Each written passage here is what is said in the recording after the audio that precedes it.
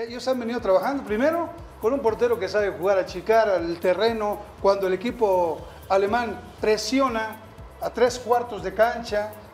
siempre sale a achicar el terreno para estar jugando adelantado, que esa es una ventaja. Que en ese sentido a lo mejor Argentina no lo tiene porque su portero no es un portero salidor, es un gran atajador y por eso normalmente depende mucho de su sector defensivo Argentina. En este caso lo que es la media de parte de lo que es eh, Alemania son gente de mucho oficio, todos los, los tres elementos, con qué dirá, con Cross y con Schwarzenegger, tienen una rotación constante, si este jugador se va, este elemento queda y este sigue acompañando al frente para siempre trabajar con cinco elementos y la participación de cualquiera de sus costados, ya sea de Philippe Lam, que hace ratito decía que posiblemente se puede incorporar, vamos a quitar el posiblemente porque se va a incorporar no, totalmente y también lo que es Guedes. Eh, Wedes también, que es un elemento que se va a estar incorporando, que los hemos visto ya en juegos anteriores, en donde cuando Schwarzenegger